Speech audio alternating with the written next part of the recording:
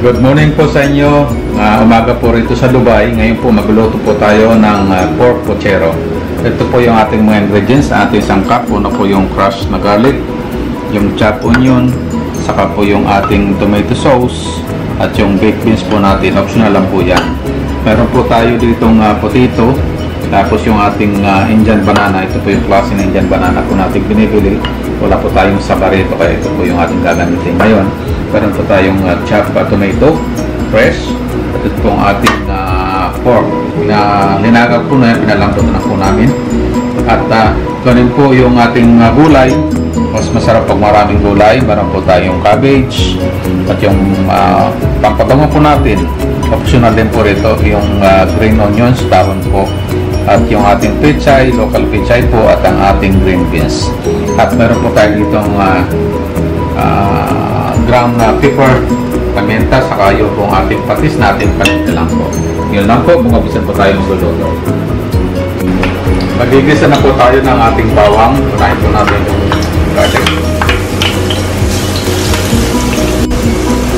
Sibuyas.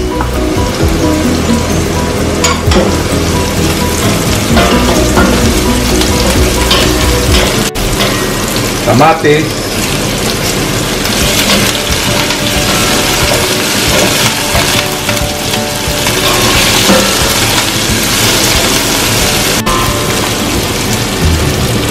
Ilagay na po natin yung pork.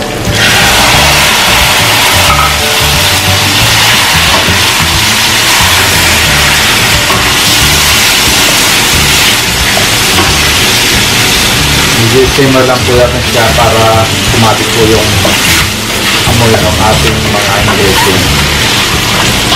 At isunod po natin yung ating baked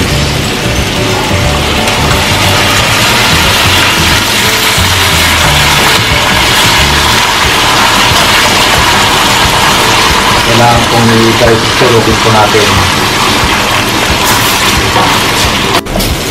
Lagay po natin yung ating patatas.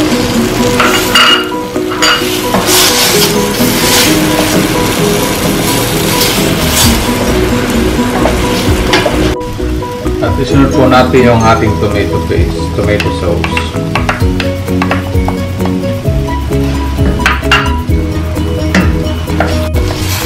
Tomato sauce po ito ha, yung nilagay po natin. At yung pong nag uh, baked beans, or uh, optional po ito pag wala po tayong carbon sauce, ito na po yung pwede natin ilagay. Isin lang po natin siya ng konti.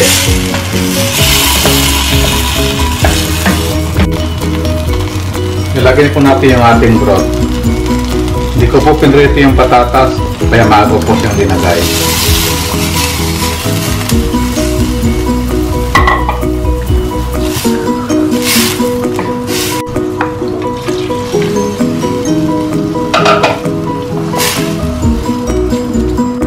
Hello Natasha, nandito po yung ating uh, pochero, pork pochero.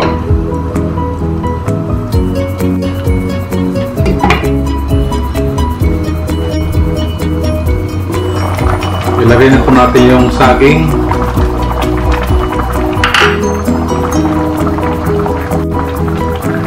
At yung ating uh, bagyo beans.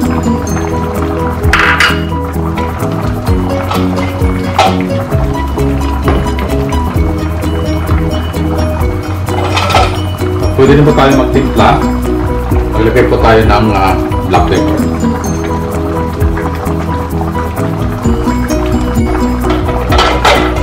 At yung ating patis.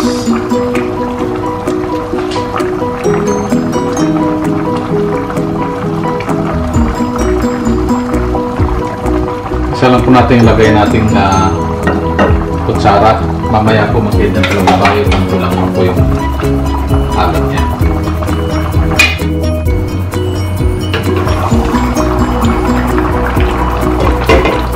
Maglalagay na po tayo ng ating cabbage, yung ating uh, repolyo.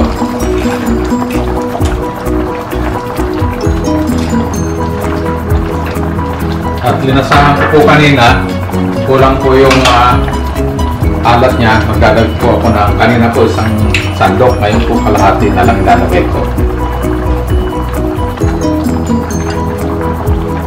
na patis.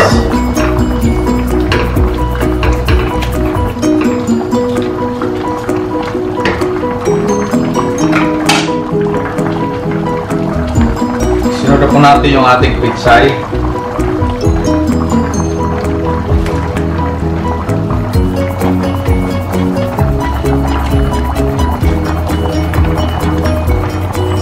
At ito pong isang ah, ah, dahon po ng ating sibuyas. Mapabango lang po ito. Optional lang po siya. Takpan ulit natin.